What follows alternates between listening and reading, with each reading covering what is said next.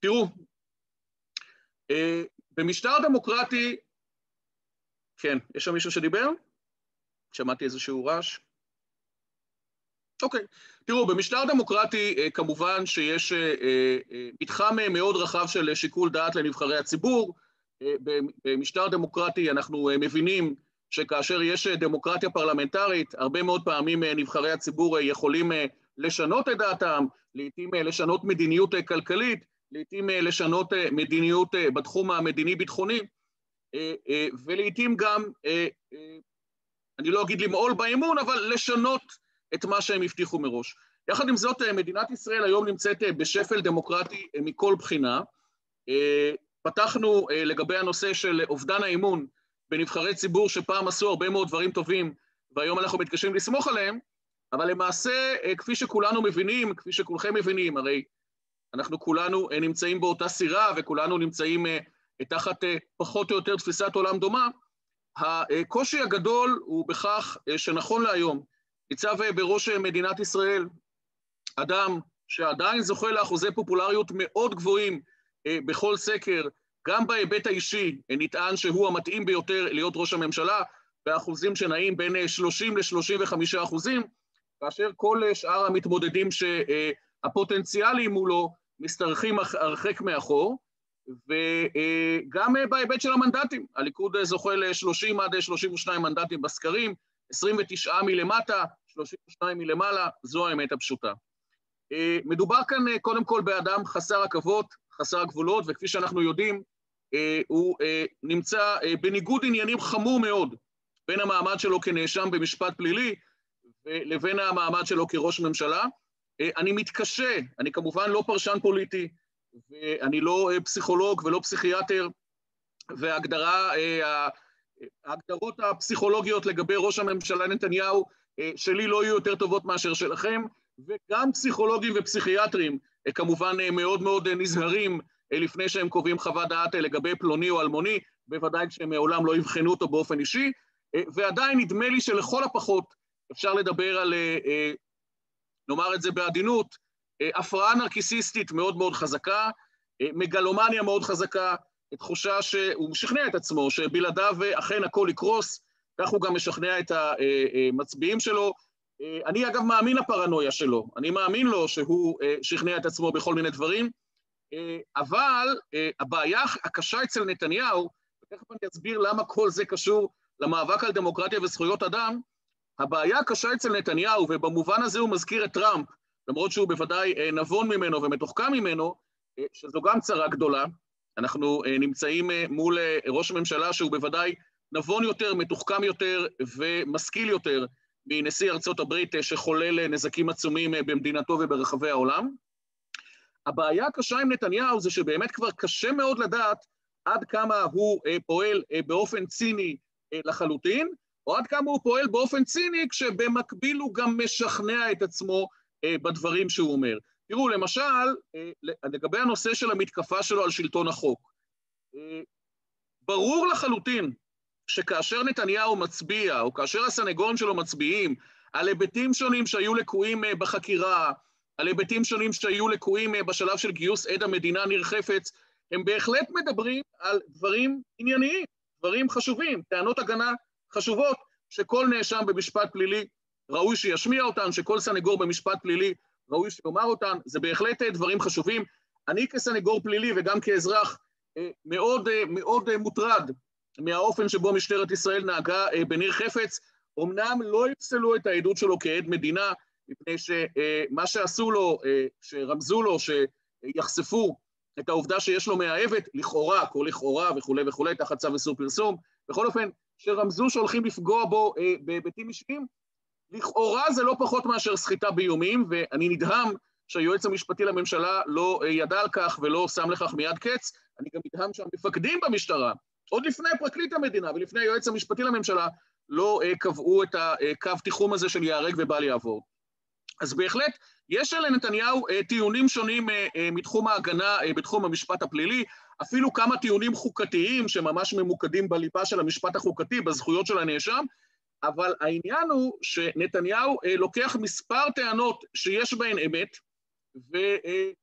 משכנע את עצמו ומשכנע חצי מאזרחי מדינת ישראל, אולי אפילו כבר יותר, שההיבטים הללו, הלקויות הללו, הטעויות הללו, גם המחדלים החמורים, מבטאים בעצם דבר שלא היה ולא נברא, קרי קונספירציה של משטרת ישראל, התקשורת ופרקליטות המדינה בראשות היועץ המשפטי לממשלה, להדיח ראש ממשלה מכהן בהפיכה משפטית.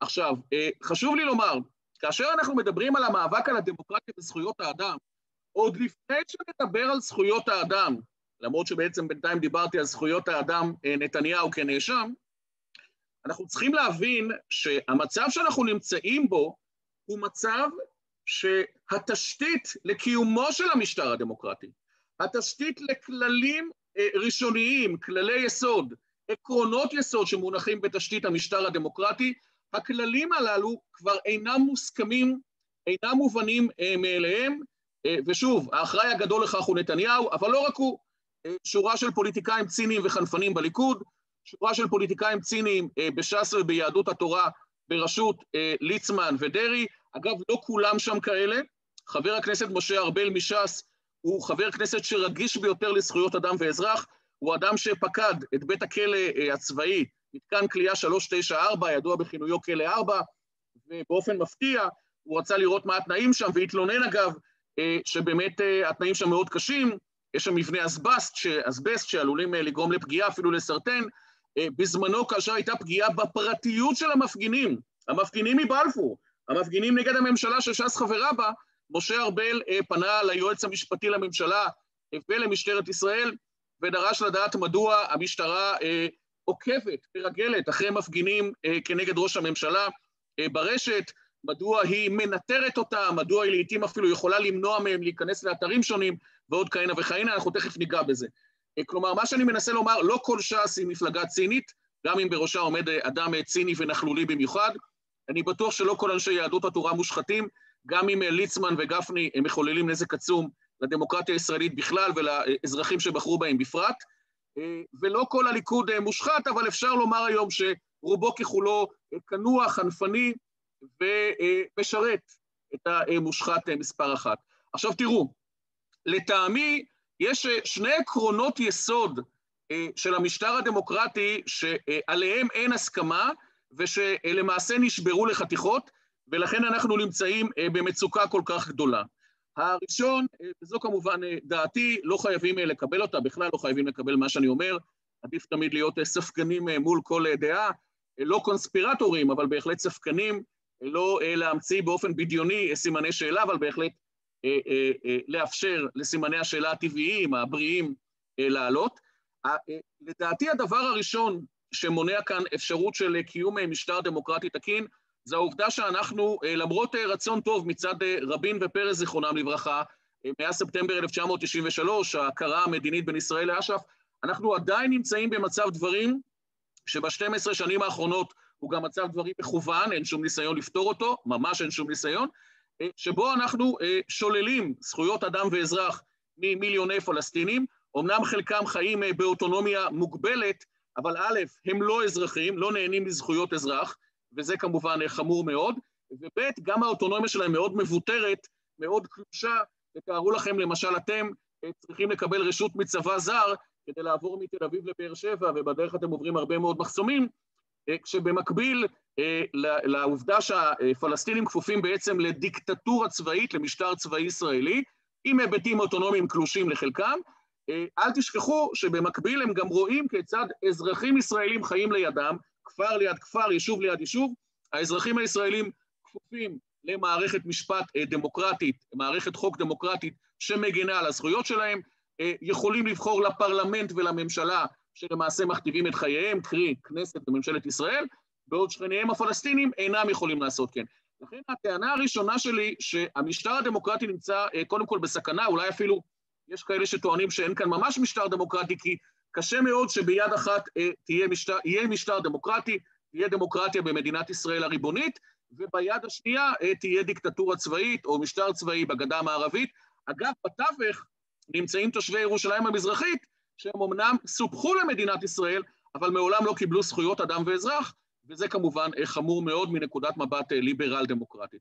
אז זו הנקודה הראשונה שלטעמי לא מאפשרת או מקשה מאוד לקיים כאן משטר דמוקרטי, אבל הנקודה השנייה היא נקודה שהתחוללה באופן שיטתי ב-12 שנות שלטון נתניהו, ובעיקר בשלוש שנים האחרונות. תראו, היו כאן כללי משחק, שוב, בתחום מדינת ישראל הריבונית, אני עוזב כרגע את הגדה המערבית, היו כאן כללי משחק שגם פוליטיקאים שאינם מושלמים, או אפילו רחוקים משלמות, משלמות או חלקם מושחתים, בכל זאת כיבדו אותם. למשל רבין, שהיו לו הרבה מאוד חסרונות, מושחת הוא לא היה, היו לו כמובן חסרונות, רבין שמיד הודיע בעקבות הכוונה של היועץ המשפטי לממשלה דאז, פרופסור אהרן ברק, להגיש כתב אישום כנגד אשתו, בגין עבירה שהיא הייתה אז עבירה פלילית, אבל היא הייתה עבירה פלילית על סף הטכני, הוא אמר, האחריות היא משותפת, אני לא ארוץ לראשות הממשלה, או לא ארוץ לראשות מפלגת העבודה בבחירות הבאות ב-77', השאיר לפרס את התענוג להפסיד, פרס לצערנו התמחה בזה שוב ושוב. גם, גם עזר ויצמן, שלתאבון הלב, זיכרונו לברכה, האיש המוכשר גם עם דעות בעייתיות לפעמים בתחום של להט"ב וכולי, אולי גם דור אחר, העליב לא פעם נשים ולהט"בים, בעיניי בצורה מאוד דוחה, כבר אז היה מזעזע, אבל בוודאי אדם עם הרבה מאוד זכויות, במידה רבה בזכותו ובזכות משה דיין, זיכרונו לברכה, מנחם בגין, זיכרונו לברכה, נאות לוותר על סיני ולהתקדם לקראת הסכם שלום מדהים והיסטורי עם מצרים בתיווכו של קרטר. ויצמן, שכל כך הרבה זכויות יש לו, כאשר התגלה בחקירת משטרה שהוא אה, אה, למעשה אה, קיבל אה, סכומי עתק ממיליונר, אולי אפילו מולטי מיליונר, אני לא יודע אם מיליארדר בשם סרוסי, אה, ויצמן הודיע על סיום כהונתו זמן קצר לפני שהוא היה אמור אה, לסיים את כהונתו. אגב, יש ויכוח האם היועץ המשפטי לממשלה דאז, אה, השופט אליקים רובינשטיין, לימים המשנה לנשיאת בית המשפט העליון, היה אמור להעמיד אותו לדין. רובינשטיין קבע שתמורת הפרישה של ויצמן וריחוקו מהחיים הפוליטיים וממשרות ציבוריות, הוא לא יגיש כתב אישום. שוב, אפשר להתווכח עד כמה זה נכון, אולי כן צריך להגיש כתב אישום כנגד נבחר ציבור בכיר, גם אם הוא פורש מתפקידו, אבל לכל הפחות היה, הייתה הסכמה לגבי נורמות. גם רבין וגם ויצמן, ואני מזכיר, רבין לא היה נאשם, ויצמן היה חשוד, אבל התיק נסגר, הוא לא הפך להיות נאשם במשפט פלילי, וכולי וכולי. אנחנו מגיעים אפילו עד הימים של אולמרט, שכמו שאתם זוכרים, אמנם כבר לא היה לו גב פוליטי, אמנם כבר לא היה לו גב פרלמנטרי, אבל אני מזכיר שאהוד ברק, בוודאי לא טלית שכולה תכלת, שר הביטחון שלו, ציפי לבני, גם היא לא מושלמת, שרת החוץ שלו, ולמעשה כל גורמי מפלגת העבודה וקדימה, או רובם, שבעצם היו בממשלה שלו, אמרו לו, ככה זה לא יכול להימשך. והאיש התפטר בשלב שהוא היה חשוד. עוד בטרם בכלל משטרת ישראל הגיעה למסקנה שיש תשתית ראיות, לפני שהיא העבירה את תשתית הראיות לעיון הפרקליטות, לפני שהפרקליטות בראשות היועץ המשפטי לממשלה קבעה שהוא אה, יהיה נאשם בכפוף לשימוע, מה שמכונה כתב חשדות, וכמובן לפני שהשימוע נדחה והוא הפך להיות נאשם במשפט פלילי. זאת אומרת, גם אם לאורך השנים נורמות התכרסמו, מעולם לא היינו במצב כל כך ציני, כל כך פתולוגי וכל כך רקוב, שבו יש ראש ממשלה, אני מזכיר, שבהיותו יושב ראש אופוזיציה אמר בצורה הרהוטה ביותר, בצורה המרשימה ביותר, בקול הבריטון הנאה ביותר, ובמילים המלוטשות ביותר, שראש ממשלה תחת חקירות פליליות אין לו מנדט ציבורי ומוסרי לקבל הכרעות בנושאים קיומיים, כי קיים חשש, אני חייב לומר לא בלתי מבוסס, הוא ממש אמר את זה בטון המוכר ובמילים המוכרות שלו, בשכנוע עצמי מובהק, שהוא יערב שיקולים אישיים במסגרת החלטות לאומיות, ובעצם שיקולי ההישרדות הפוליטית והמשפטית שלו יכתיבו את החלטותיו הלאומיות. עכשיו, מה שאמר נתניהו אז, ואגב, נתניהו גם היה חתום כמי שהצביע בעד הצעת החוק הטרומית, הטרומית של מספר חברי כנסת, גם מהליכוד, דאז, מהאופוזיציה דאז, הצעת חוק שקבעה בשנת 2008 שראש ממשלה לא יוכל לכהן אם הוגש נגדו כתב אישום, וגם לא, חבר כנסת לא יוכל, להט... נשיא לא יוכל להטיל עליו את הרכבת הממשלה אם הוגש נגדו כתב אישום. מה השתנה מ-2008 עד 2018, 2019, 2020? מבחינה עקרונית, מבחינה מוסרית, מבחינה ציבורית ומבחינה משפטית לא השתנה דבר.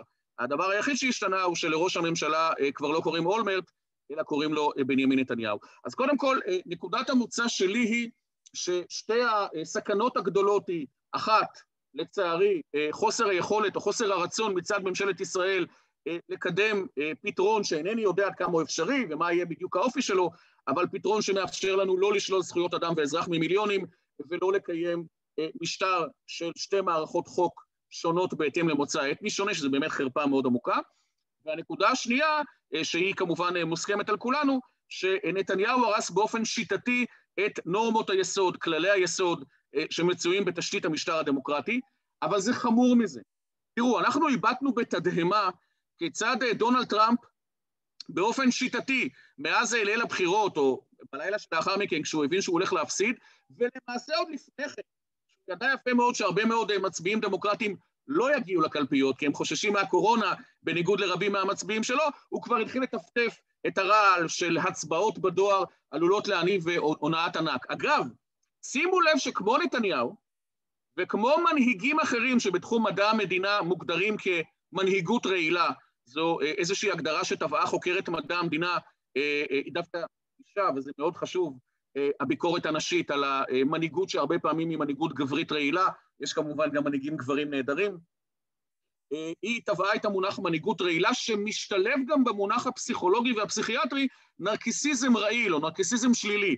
אדם שינצל, כמו, ישתה את הצוף מכל מי שכפוף לו, מכל מי שאוהב אותו, מכל מי שמעריץ אותו, מכל מי שהוא צריך אותו, וברגע שהוא לא יצטרך אותו, הוא יזרוק אותו אה, לכלבים.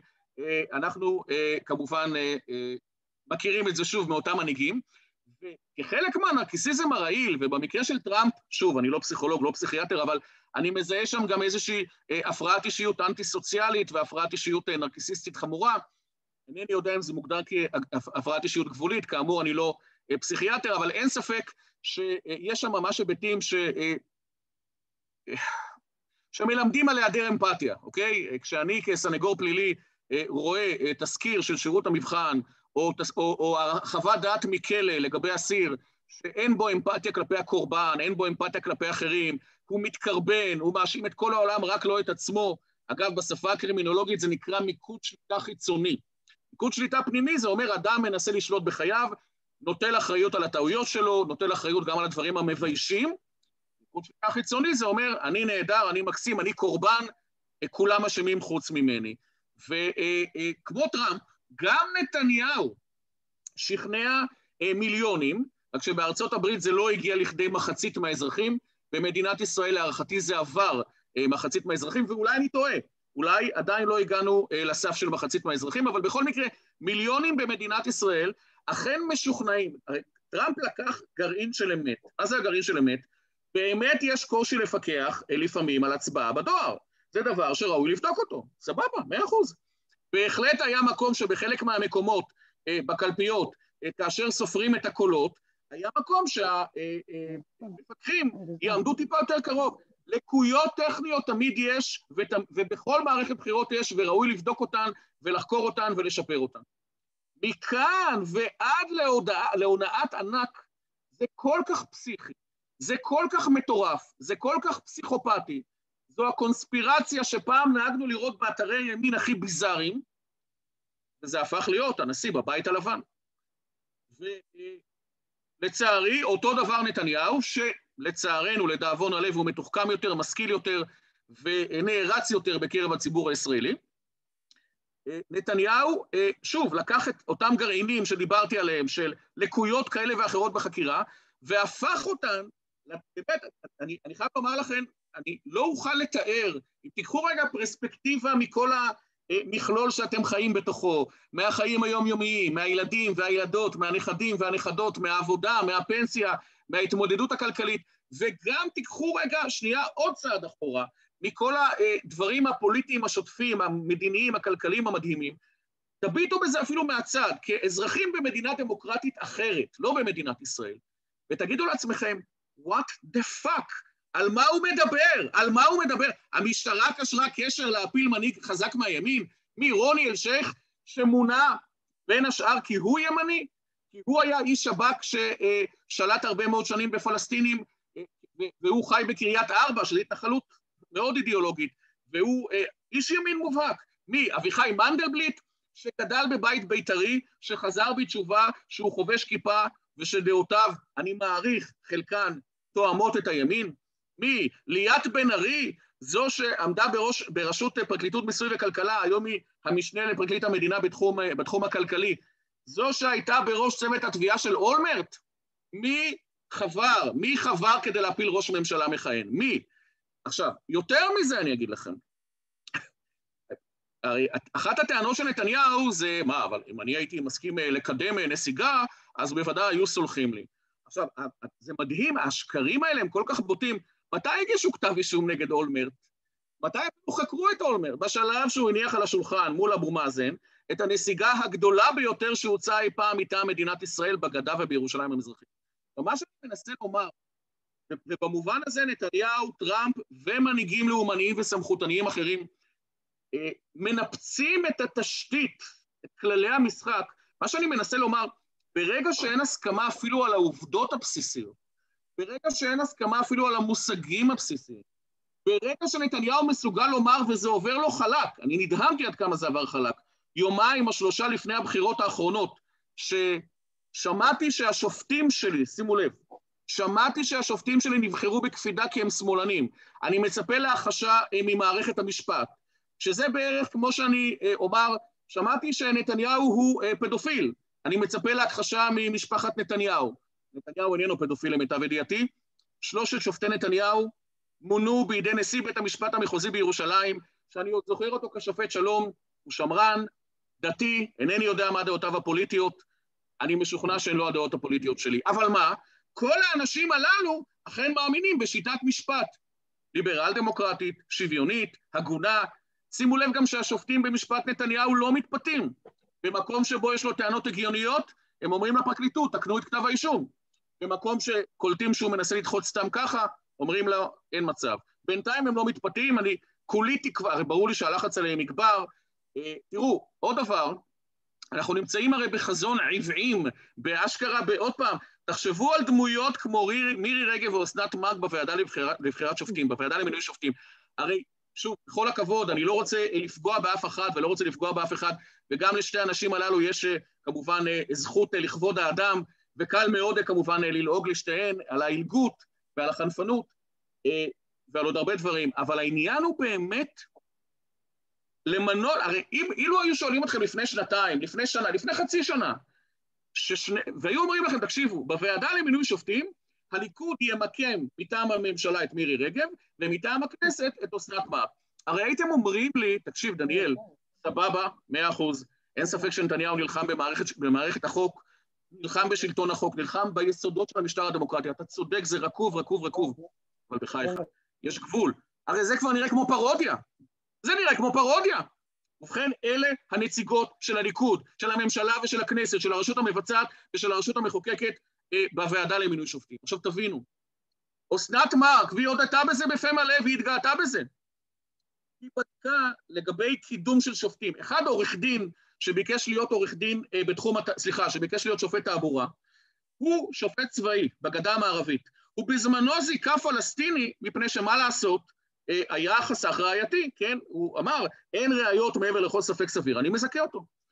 היא אמרה, אדם שמזכה מחבלים, אני לא מוכן, אני אלחם בזה שלא יהיה שופט תעבורה. עכשיו, אתה אומר, אלוהים אדירים.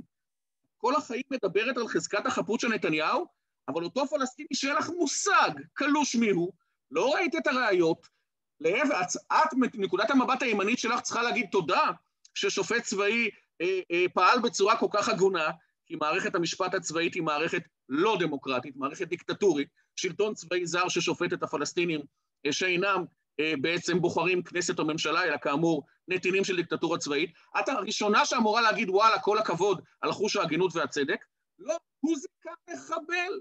הרי זה משהו שהדעת לא תופסת.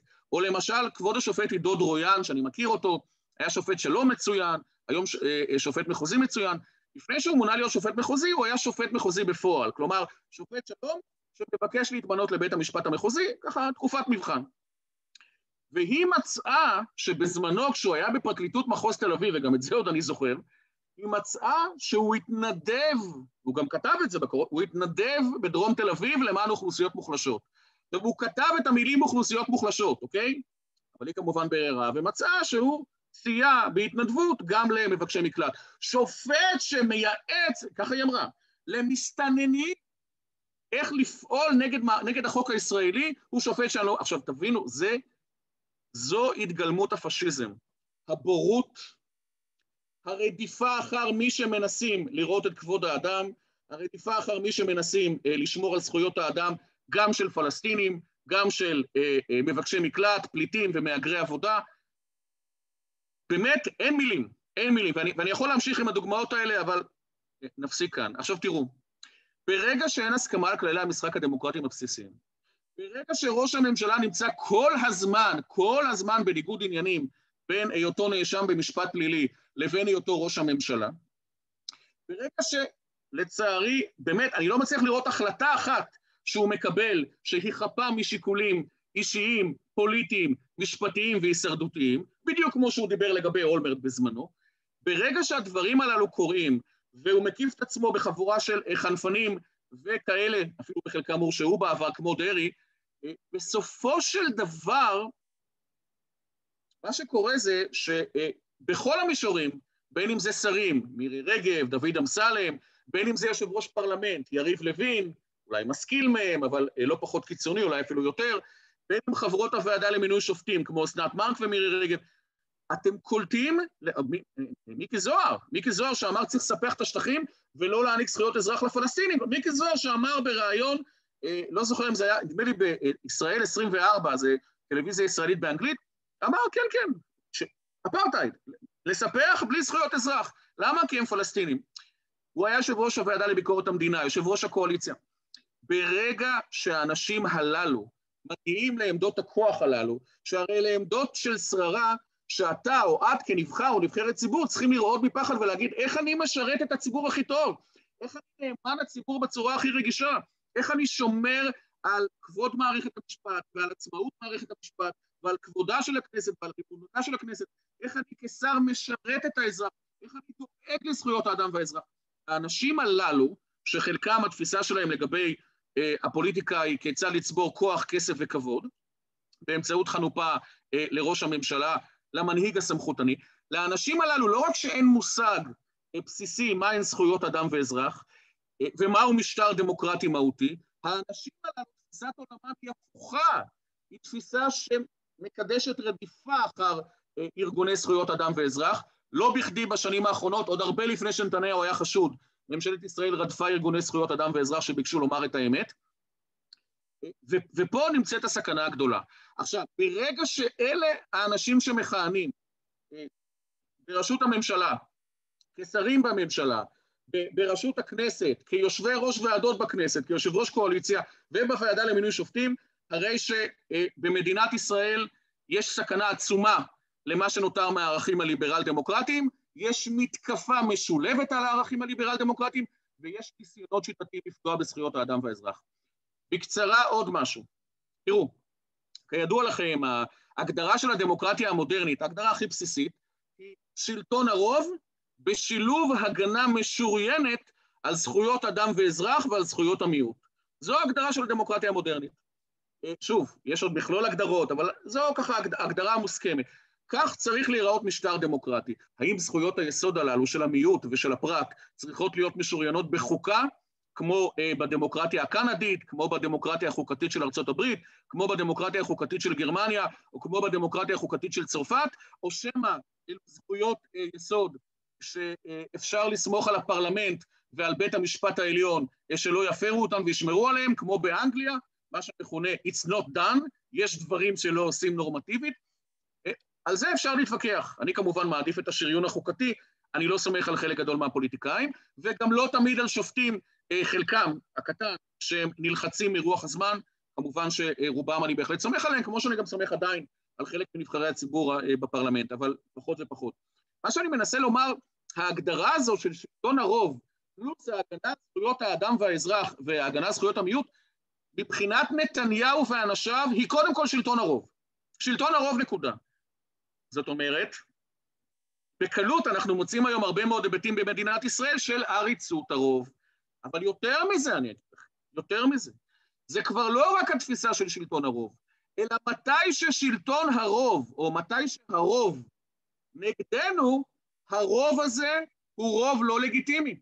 62 מנדטים, כלומר, מקרב הבוחרים בבחירות האחרונות הצביעו כך וכך אנשים, גברים ונשים, ל-62 מנדטים שהמליצו על בני גנץ, שהתנגדו לנתניהו. למעשה 61 המליצו, כי אורלי לוי אבקסיס, אה, איך נאמר, אה, עשתה את הדבר המבחיל ביותר שאפשר להעלות על הדעת, גנבה את הקולות שלנו. אבל 62 אה, מנדטים מבחינת הקולות של הבוחרים והבוחרות בחרו בלא נתניהו. 58 מנדטים בחרו בכן נתניהו. גם עם העריקה ההיא זה היה 61-59. ומבחינת אה, נתניהו, הוא נתקף בהיסטריה. זה ישר היה רוב לא לגיטימי, הוא עלה עם הלוח המפורסם מאחוריו, והתחיל להסביר שהרשימה המשותפת היא לא לגיטימית, או במילים אחרות, אה, רשימה שהאזרחים הערבים מצביעים לה היא לא לגיטימית. אה, זה הרי דבר שלא ייאמן, הוא ממש דיבר על רוב ציוני. זאת אומרת, הסיפור הזה של דמוקרטיה היא שלטון רוב אה, לצד זכויות אדם, אצל נתניהו ואנשיו זה הפך להיות דמוקרטיה שלטון רוב, וכאשר הם הפסידו את הרוב, גם זה כבר לא היה רלוונטי. דמוקרטיה שלטון רוב אתני, או שלטון רוב של מישהו ציוני. עכשיו, להזכירכם, ש"ס ויהדות התורה, הקהל שלהן ברובו איננו ציוני. אז התפיסה הזו של מי כן ציוני, מי לא ציוני, נו באמת. השאלה היחידה היא, מהו הרוב האזרחי במדינת ישראל? וכמובן שגם יריב, סליחה, לפני יריב לוין, יולי אדלשטיין, כאשר הכנסת הנבחרת, הרוב הפרלמנטרי הנבחר, הנבחר, דרש לקיים ישיבה כדי להדיח אותו, הוא, בהצעה אחת עם נתניהו ויריב לוין, שר דאז, פשוט סירב לכך. אל תשכחו שהוא היה יושב ראש כנסת מכוח רציפות. כלומר, הוא היה כמו ראש ממשלת מעבר, הוא היה יושב ראש כנסת מעבר, הוא סירב לכך.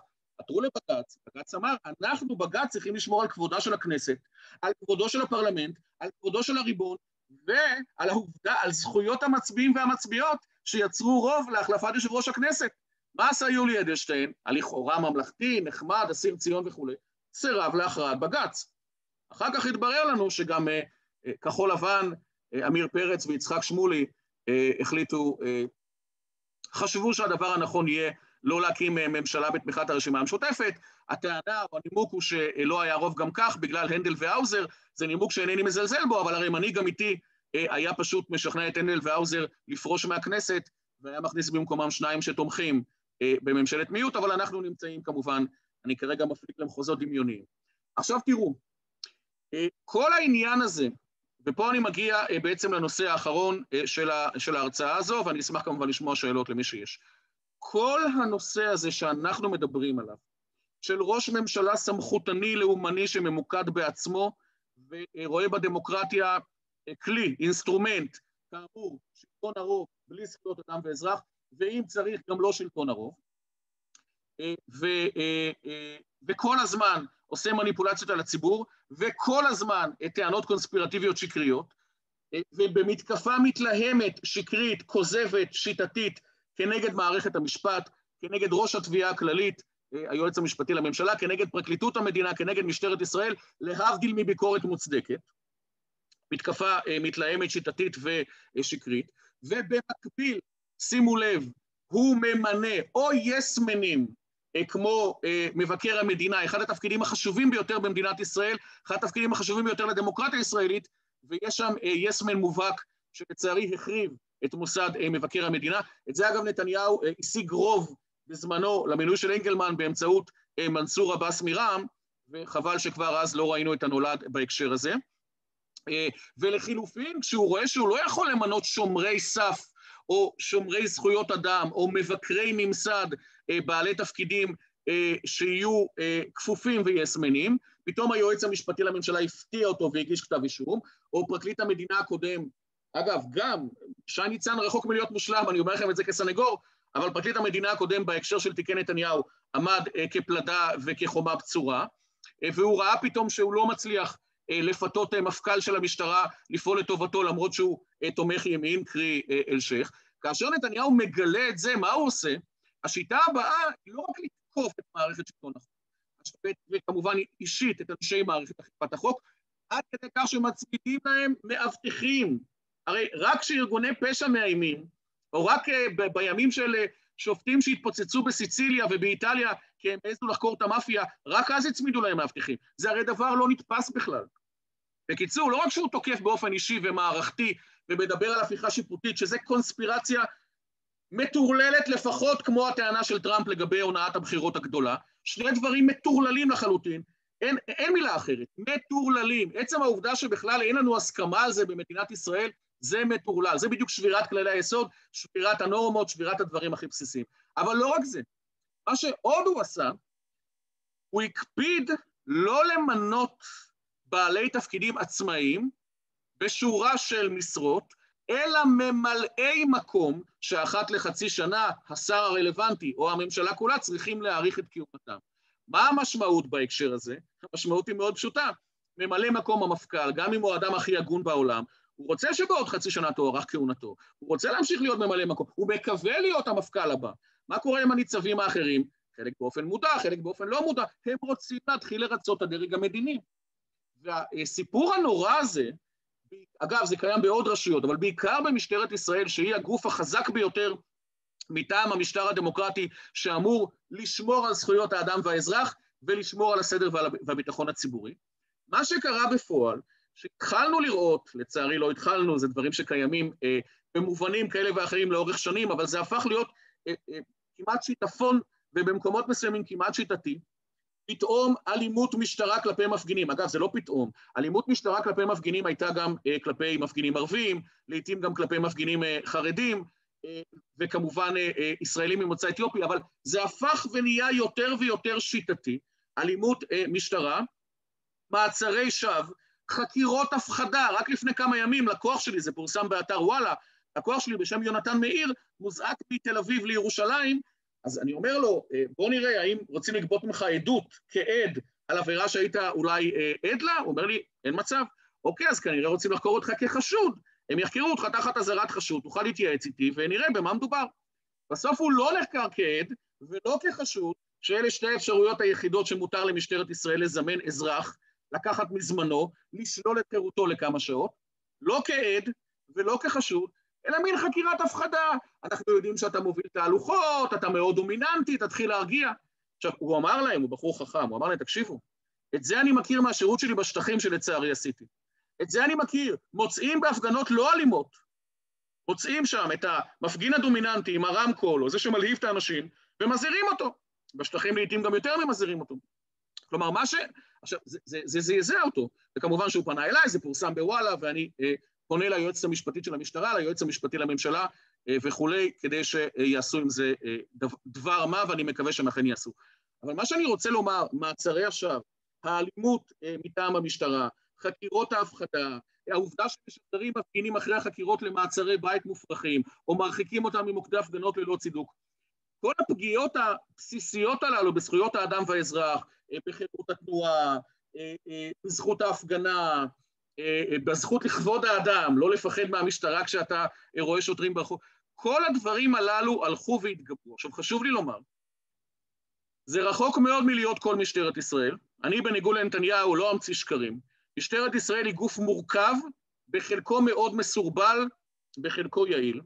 יש במשטרה גורמים רציניים שמבינים וגם מממשים את ההבנה שתפקידם לשמור על שלטון החוק, על המשטר הדמוקרטי, על טוהר המידות ועל זכויות האדם והאזרח. יש כאלה לא מעטים, ואני שוב אה, מדגיש את מה שתמיד אני מדגיש בהרצאות שלי, כולל חברים טובים, כולל קצינים די בכירים, וכולל גם קצינים בכירים. לעומתם יש גורמים במשטרה אה, שמכיוון שהם לא עברו הכשרה בתחום זכויות האדם והאזרח, מכיוון שהם לא מבינים בכלל שתפקידם הוא להגן על המשטר הדמוקרטי ועל זכויות האדם והאזרח, פועלים אה, בצורה של תרבות כזב שמתפשטת, לא בכל המשטרה, אבל בהחלט הרבה מאוד כזב. אני מוצא ממש שקרים אה, כנגד לקוחות שלי, אה, ותרבות של אלימות שמתפשטת, חלילה לא בכל מקום. אגב, גם יש הבחנה מהותית בין מחוז תל אביב, שברגע שאנחנו, אני ועוד מספר עורכי דין, עררנו לבית משפט השלום, ושוחררו 40 עצורים, זה היה לילה די נורא בשלושה באוקטובר, רואים שמשטרת מחוז תל אביב הפיקה לקחים. ומאז כמעט שלא היו עצורים, ואם היו עצורים, כמעט שלא היו עצורי שווא, והרבה פחות אלימות. לעומת משטרת מחוז ירושלים, שגם שם, אגב, זה מורכב, יש כאלה, יש אחרים, אבל שם אני מזהה הרבה יותר חקירות הפחדה, הרבה יותר מעצרי שווא, אה, ולצערי גם יותר אלימות. חשוב לי רק לומר בהקשר הזה, שגם אני וגם עורכי דין אחרים מתחומי המשפט הפלילי וזכויות האדם, כמובן הגשנו ונגיש תביעות פיצויים כנגד המשטרה מטעם אותם קורבנות אלימות, מטעם אותם עצורי שווא או מטעם אותם קורבנות חקירות הפחדה. ובמקביל אנחנו מתלוננים במח"ש, וכמובן מתלוננים בפני גורמים בכירים במשטרה ועושים כל מה שאפשר.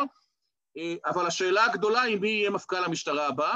מצד אחד, אנחנו מקווים שהוא יהיה אדם ישר והגון, קובי שבתאי, מצד שני, הוא היה מפקד משמר הגבול שחלקים גדולים מתפקידיו אינם לשמור על זכויות האדם והאזרח בדמוקרטיה הישראלית, אלא דווקא, איך נאמר את זה, לפגוע בזכויות האדם והאזרח בירושלים המזרחית ובחלקים מהגדה המערבית. ויש עם זה קושי, כי ככל ששוטר, קצין, מפקד, לאורך השנים מבין שהוא אה, נמצא במשטר דמוקרטי, מחויב לזכויות אדם ואזרח דמוקרטיות, ומחויב לכבוד האדם, אז אחרי זה הוא בדרך כלל גם הופך להיות מפקד בכיר שמחויב להיבטים הללו. לעומת זאת, ככל שהוא פיקד לאורך השנים מול אה, אה, אה, נתינים כבושים, או מול אה, אה, תושבים שאינם אזרחים, שמדינת ישראל סיפחה אותם, אבל אה, רואה בהם סוג ד' וה', כמו בירושלים המזרחית, אז הוא רגיל, לצערנו, אה, לא תמיד לכבד את זכויות האדם, ומהבחינה הזו באמת שאלה גדולה היא איך יהיה קובי שבתאי. חשוב לי לומר לסיום דבריי. תראו, פתחתי ואמרתי שהן הדיקטטורה הצבאית בגדה, שכמובן אה, לא היה קל אה, להגיע למשא ומתן בעבר, אבל ב-12 השנים האחרונות נעשה הכל כדי לא לפתור את הנושא הזה, והן אה, שתי מערכות החוק הנפרדות בהתאם למוצא אתני בגדה המערבית, מצד אחד, ומצד שני, ההחרבה השיטתית של הנורמות, של מושג האמת, של מה אמת ומה שקר, מה מותר ומה אסור, מה נכון, מה לא נכון, מה עובדה ומה המצאה. ברגע שנתניהו החריב את זה בשנים האחרונות, ולמעשה גם מינה אנשים בהתאם לעקרונות החנופה ולא בהתאם לעקרונות של המקצועיות, וברגע שהוא גם מנסה עד כמה שאפשר לקבל הכרעות באופן אישי כמו מנהיג סמכותני בכל הנושאים הקיומיים, שימו לב שהוא רוקן את הממשלה והקבינט מהרבה תכנים, את הפרלמנט שלנו, את הכנסת, הוא כבר רוקן מכוחה, וזה מאוד מאוד חמור. במקביל למתקפה על כל הגורמים שאמורים למנוע את זה ממנו, קרי אה, אה, יועצים משפטיים לממשלה, שומרי סף ומערכת המשפט, בסופו של דבר, הדפוס הזה של מנהיג סמכותני, מנהיג לאומני, שבמובנים היותר קיצוניים שלו אנחנו רואים אותו אצל ארדואן בטורקיה, שם זה הרבה יותר חמור, אה, רואים אותו אצל אור, אור, אורבן, לא אורבן, אורבן אה, בהונגריה, גם שם אגב בהרבה מובנים המצב יותר חמור, במובנים מסוימים רואים את זה בפולין, שם בשלב מסוים הממשלה ניסתה אה, פשוט לפזר את בית המשפט העליון, והדמוקרטים הפולנים ליוו ואבטחו את נשיאת בית המשפט העליון בתמונה מדהימה לפני כמה שנים, שנכנסת פנימה אה, בעזרתם.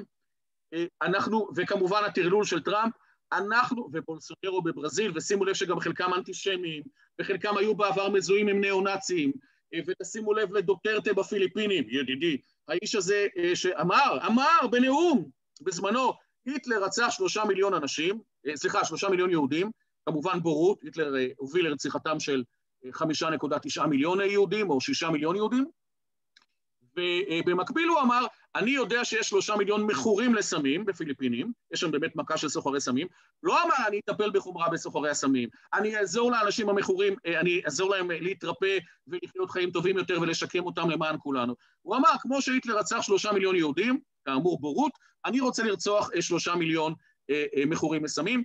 אה, ההתבטאויות הללו, וכמובן לא רק התבטאויות, עד לפני שנה אני יודע שההערכה היא שנרצחו לא פחות, נרצחו בידי כוחות הביטחון בפיליפינים 14 אה, אזרחים, אה, כולל אה, ניסיון לחוקק חוקים נגד סוחרי סמים בני תשע, ילדים שמעבירים לצערנו בשכונות עוני סמים וכולי. מה שאני מנסה לומר, כמובן ישראל איננה הפיליפינים, נתניהו איננו דוטרטה, ישראל גם איננה טורקיה עדיין, נתניהו איננו ארדואן, אבל מדינת ישראל בנתיב הלאומני, הסמכותני, שיש בו היבטים פרוטו-פשיסטיים, ודיכוי של זכויות אדם, ביטול של זכויות אדם, פגיעה בזכויות אדם, הולכת אה, ומידרדרת. מקווה שלא חפרתי, מקווה שזה היה בסדר.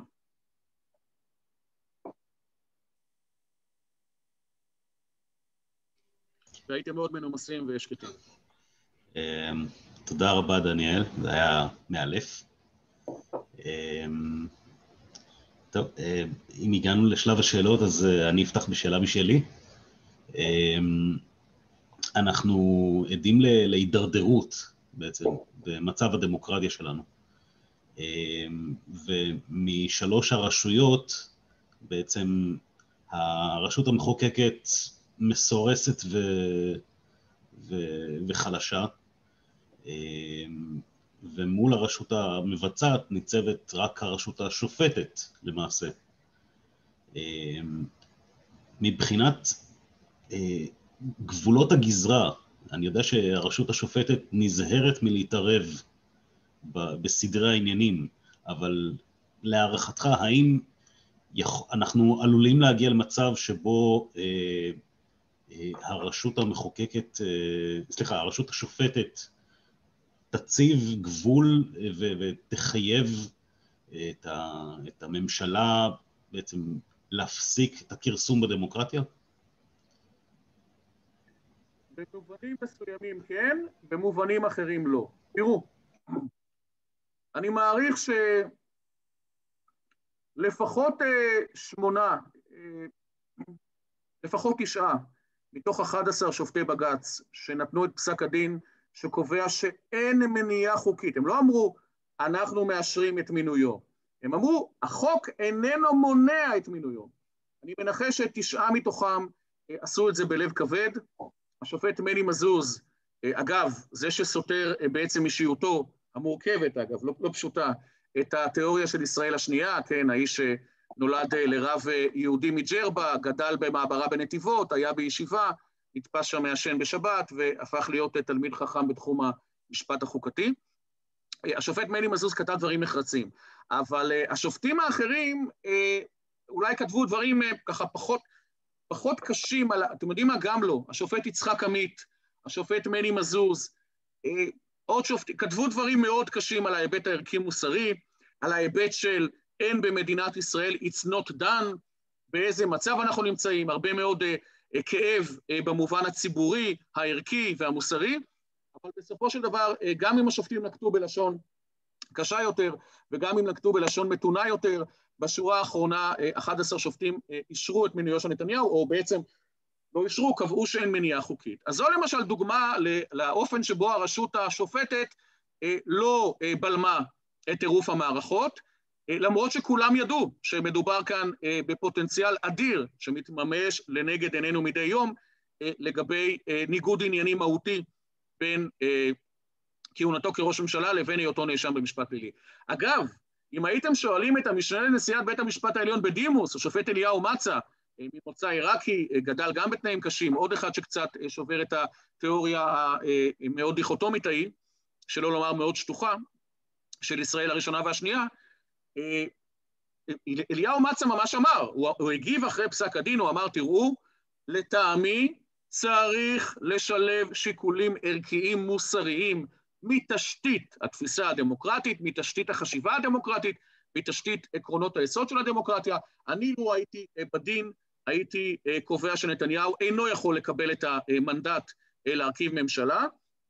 אה, אינני יודע האם זו גם הדעה של פרופסור אהרן ברק, של הנשיאה לשעבר דורית בייניש, בייניש ושל שופטי עליון אחרים שמזוהים עם הז'אנר הליברל-דמוקרטי, אולי דליה דורנר, אבל מה שבטוח הם לא מכהנים שם לטוב ולרע, ובית המשפט העליון דהיום, שוב, לטוב ולרע, יש בו גורמים ליברליים, יש בו גורמים שמרניים, יש כאלה ויש אחרים, בית המשפט העליון לא בלם את הדבר הזה. אגב, יש שאמרו בצדק, כי בסופו של דבר, עם כל הריקבון, עם כל השחיתות ועם כל ניגוד העניינים, זה מה שהכנסת החליטה.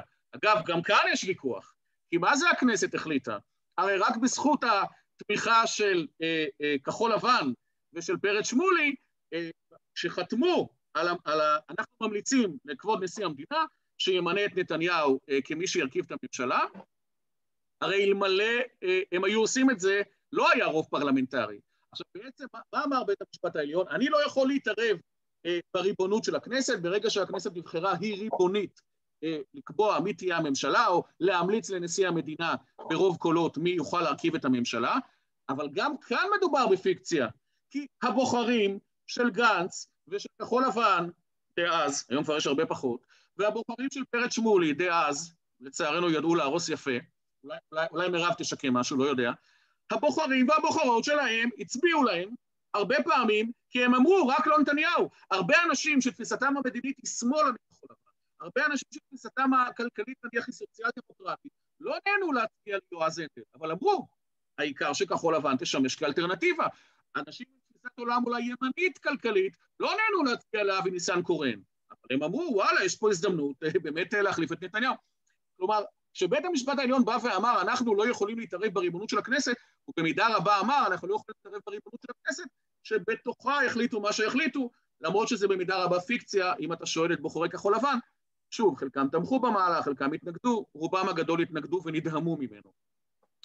אז אה, הדוגמה הזו, שהיא דוגמה מאוד מרכזית, של עד כמה בית המשפט העליון יכול להתערב בנושאים של טוהר מידות, בנושאים של אה, עקרונות יסוד של המשטר הדמוקרטי, אנחנו רואים ששופטי העליון הרבה פעמים חוששים, אה, מבחינתם בצדק, ואולי גם, אה, גם מבחינתנו בצדק, כי החשש הוא שבאמת מסע הדה-לגיטימציה נגדם יגבר עוד יותר. אז יש פה באמת סימני שאלה מאוד קשים. אתה, אז זה עד כה לגבי הנושא של טוהר מידות, יסודות משטר הדמוקרטי ועוד. לגבי הגנה על זכויות אדם ואזרח, פה בית המשפט העליון לפעמים, אה, בתחום מדינת ישראל הריבונית, לצערי לא בתחום הגדה המערבית, פה בית המשפט העליון לפעמים עדיין פוסק פסיקה מפוארת שמגינה על זכויות האדם והאזרח, כמו אתמול בנושא של אין חובה להציג תעודת זהות לפני שוטר, ולעיתים יש פסיקות שלצערי אה, לא ממש עוזרות אה, בתחום זכויות האדם והאזרח, בוודאי אישור של עונשים קולקטיביים, הריסת בתים וכולי בגדה, אבל גם בתחום מדינת ישראל הריבונית, לא תמיד העליון פוסק בדרך הליברל-דמוקרטית הנכונה. אסכם את דבריי, עד גבול מסוים, בית המשפט העליון, הרשות השופטת, יכולים להציב אה, בלם אה, לרשות המבצעת, לממשלה, לנתניהו, משלב מסוים זה בלתי אפשרי, אה, ושוב אני מזכיר, זה כמעט קלישאות, אני, הרי לחזור לגרמניה הנאצית, ברור שאנחנו לא גרמניה הנאצית, ואף אחד פה הוא לא נאצי, ראש הממשלה לא נאצי חלילה, אבל אה, אנחנו כן יכולים ללמוד מרפובליקת ויימאר, אותה רפובליקה דמוקרטית עם חוקה מפוארת, עם בית משפט עליון מפואר, שכאשר הפשיזם עלה, לא היה מי שיבלום אותו. כאשר באיטליה, ב-1925, הפשיזם עלה, לא היה מי שיבלום אותו. אה, ועוד כהנה וכהנה, ואנחנו יכולים דווקא דוגמאות מאירופה הפשיסטית של שנות ה-20 וה-30, יש גם דוגמאות של דיקטטורות צבאיות אה, באמריקה הלטינית, יש דוגמאות נוספות. ההיסטוריון הדגול, פרופסור שאול פרידלנדר, אמר לפרופסור דוד אוחנה, כשהוא הנחה אותו בעבודת הדוקטור, אה, הבן שלו אגב, העובד הסוציאלי דניאל אוחנה, מאוד פעיל במחאה וכבר נעצר הרבה פעמים, בחור חמוד, שאול פרידלנדר אמר לדוד אוחנה, ולדעתי הוא גם כתב את זה, הוא אמר, תראה דוד, אה, הקו האדום לא נחצה פעם אחת, זה לא וואלה, אנחנו בלבן, קפצנו לאדום, לא. זה עוד קו ורוד שנחצה, ועוד קו ורוד שנחצה, ועוד קו ורוד ועוד קו ורוד, הגענו לקו האדום. אותה צפרדע שמתבשלת עד שהיא מבינה שכבר מאוחר מדי. זו השורה התחתונה. העליון והרשות השופטת יכולים לבלום, אם הם רוצים, רק דברים מסוימים, מאוד מאוד מאוד בזהירות, לעתים בצורה אה, מאוד מתונה, לעתים בצורה יותר רחבה, הם תחת מתקפה, חלק מהשופטים מאוד שמרנים, יש שני שופטים שהם מתנחלים, תפיסתם הפוליטית היא בעצם תפיסה פוליטית אה, מאוד ימנית, סיפור מורכב. תשובתי אליך, כן, העליון יכול לעצור חלק מתהליכי ההידרדרות, האם העליון יכול לעצור אותנו מלהפוך למדינה פשיסטית לחלוטין? בהינתן נסיבות מסוימות התשובה היא לא. מאוד מפחיד, אבל זה, זה בידיים שלנו, האזרחים. אנחנו צריכים לשמור על הדמוקרטיה. טוב, אה, אני רוצה לשאול אה, שאלת המשך. אני הקשבתי לעתירה של התנועה לאיכות השלטון, והטיעונים שלהם היו רגשיים, אבל לחלוטין לא משפטיים. כלומר, לדעתי היא הייתה עתירה פשוט רשלנית ולכן נכשלה. מה דעתך? אתה מדבר על העתירה ההיא אה, נגד, ה... נגד האפשרות להטיל את המנדט על נתניהו? נכון. תראה, אני אגיד לך משהו. קודם כל, בגלל שאני מיודד עם תומר נאור, היועץ המשפטי של התנועה לאיכות השלטון, אז אני בטח לא אדבר סרה אה, בקולגות, גם אם אני חושב ש... אני, האמת שאני גם די מיודד עם אה, ליאת שרגא, לא בטירוף, אני... בואו נגיד ככה, אה, התנועה לאיכות השלטון בוודאי גם עשתה טעויות בחלק מהעתירות שלה. התנועה לאיכות השלטון מצד שני אה, עתרה בשורה של עתירות שבאמת באמת ביצרו פה זכויות אדם ואזרח, סייעו מאוד לטוהר המידות. אני יכול להעיד שכאשר אני הצגתי את מני נפתלי וראשי המחאה בכיכר גורן, יחד עם גבי לסקי, בעצם שכירה של גבי, כי גבי אז הייתה במקסיקו, יחד עם יובל יועז והשותף שלו, ויחד עם אליעד שרגא ותומר נאור, התנועה לאיכות השלטון, עתירה משותפת אה, כדי בעצם להורות למשטרה אה, אה, לא לחייב ברישיון את המפגינים בכיכר גורן, וגם לא להוציא את המפגינים משם למקום אחר, המשטרה רצתה לסלק אותם משם לאיזה חצר אחורית, ושם יצא פסק דין מפואר של בית המשפט העליון בראשות הנשיאה חיות, במידה רבה בזכות היוזמה של התנועה לאיכות השלטון, שמפגינים לא צריכים להוציא רישיון אה, כשהם רוצים לקיים הפגנות אה, רישיון מהמשטרה בדמוקרטיה, אבל כן צריכים לעשות תיאום בטיחותי עם המשטרה, כן? לא, לא פתאום לצעוד על כבישים בלי תיאום עם המשטרה. אז זה פסק דין מאוד מאוד חשוב שהתנועה לאיכות השלטון בעצם לטעמי הביאה אה, להגעתו, להוצאתו לאוויר העולם. היו להם עוד הרבה מאוד הישגים. אז קודם כל חשוב לומר, כן, היו להם הישגים, גם אם אני יודע שיש כאלה שנורא אה, מתעצבנים מאליעד שרגא ואפילו לא יכולים לשמוע אותו. אה, הישגים היו להם. האם כאן, בעתירה הספציפית הזאת, היו אה, נימוקים אה, רגשיים יותר ואינטלקטואליים פחות, נימוקים אה, מהמישור הפסיכולוגי ופחות מהמישור המשפטי? תראו, אני שמעתי את אה, חברי יובל יועז טוען שם, אה, לא שמעתי את אליעד שרגא טוען שם, אני שמעתי, אה, לא משנה, שמעתי שם עוד כמה. הטיעונים המשפטיים שאני שמעתי נשמעו לי סבירים, הגיוניים, נבונים. לא שמעתי את אליעד שרגא. אני חושב שבין אם הטיעונים היו כאלה ובין אם אחרים, כפי שכבר יכולתם לנחש מרוח דברי השופטים במהלך הדיון, הרוח נטטה לכיוון השלילי. אני לא חושב, שוב, לא שמעתי את אליעד שרגא, אבל גם אם אני יוצא מנקודת הנחה שאתה התרשמת נכון, ושאכן טיעוניו לא היו טובים דיים, או דווקא, לא... דווקא של עורכת הדין דפנה. אה, אה אוקיי, אז היא, דפנה הולץ לכנר היא לא מהתנועה לאיכות השלטון, היא ייצגה 125 אה, עותרים מבכירי המשק, הכלכלה, בכירי ביטחון וכולי לשעבר. אה, אתה אומר שהטיעונים שלה היו רגשיים, לא מספיק משפטיים? לא משפטיים, שום, קשר, שום טיעון משפטי לא שמעתי ממנה, זה היה כל כך מאכזב. אני, אם הייתי צריך לפסוק, הייתי פוסק נגדה. אז אני אגיד לך, אה, שוב, לשמחתי אני יכול להימלט מהשאלה הזו, כי לא שמעתי את עורכת הדין דפנה הולץ לכנר בדיון, לא שמעתי את אליעד שרגא, כשאני פתחתי כאן 11, שמעתי את אה, יובל יועז ועוד איזשהו עורך דין שעשו את מלאכתם נאמנה. אני כן אומר לך, שלפחות מבחינת מה שנכתב, אני הרי קראתי את העתירות, מבחינת מה שנכתב, עורכת הדין הולץ לכנר כתבה עתירה יפה, התנועה לאיכות השלטון כתבה עתירה יפה, וגם uh, התנועה לטוהר המידות של אביה אלף, שהייתה פעם אה, ראשת המחלקה הכלכלית בפרקליטות המדינה, גם כתבו עתירה מאוד יפה. זאת אומרת, לפני השופטים היו נימוקים מעמיקים, מקיפים, משפטיים. יכול להיות שהנימוקים בעל פה היו פחות משכנעים, אבל השופטים הרי קודם כל מבססים את פסיקתם על אה, נימוקים אה, אה, כתובים. יכול להיות שמאוד בייס לראות את זה, אני לא יודע, אני, אני מאמין לך. אני כן רוצה שתדע שבאמת עשו מה שהם יכולים, אולי לא מספיק טוב, אבל התוצאה הייתה במידה רבה קבועה מראש. תודה. תודה לך. שאלות נוספות? הזדמנות פז למי שרוצה. אני רוצה לשאול, כדרכי, אה, כדרכי בקודש, אני אה, בחורה אופטימית. יש לך משהו, יש לך משהו אופטימי ל...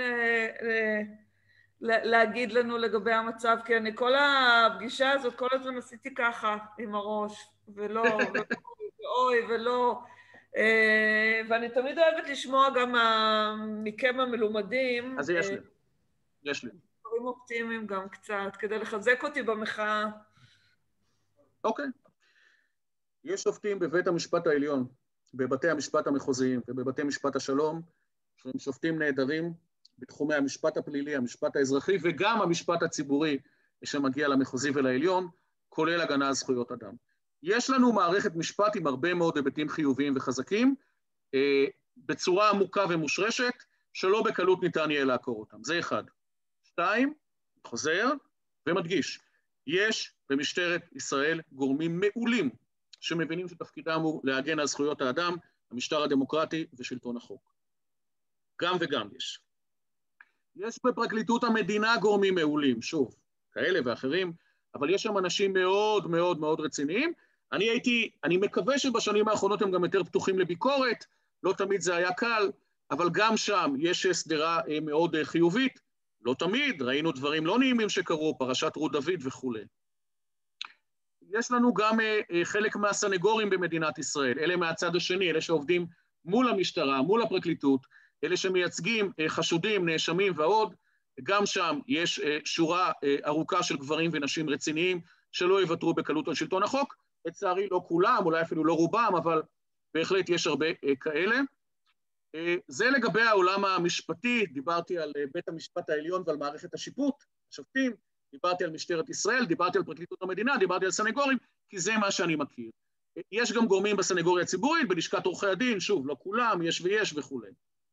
אני מתרשם, אבל פה אני כבר באמת לא יודע יותר ממך, עדיין יש גורמים בתקשורת החופשית שלא מוותרים, למרות קשרי ההון שלטון עיתון, למרות שגם פה נתניהו השחית בצורה איומה ונוראה, למרות שישראל היום הוא הכי נפוץ, למרות נוני מוזס הבעייתי בידיעות אחרונות, והוא מאוד בעייתי, למרות uh, שלעיתים אנחנו uh, צופים uh, בצורה uh, מחרידה בשידור המסחרי, שלעיתים הוא מאוד חנפני ופונה למכנה המשותף הכי נמוך, אני רואה שלמשל שידור ציבורי מצוין, כאן 11 ורשת ב', יש שם אנשים מצוינים.